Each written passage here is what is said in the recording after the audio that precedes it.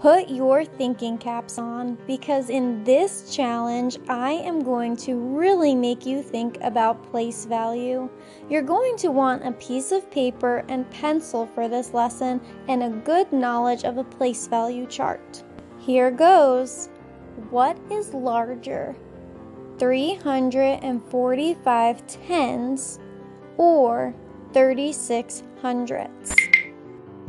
Pause this video and try to put these digits in the correct place value on your place value chart. What do you notice? 345 tens, can that fit in the tens place? Of course not. Only one digit can go in each place value, so what do you do? The 5 can stay in the tens place.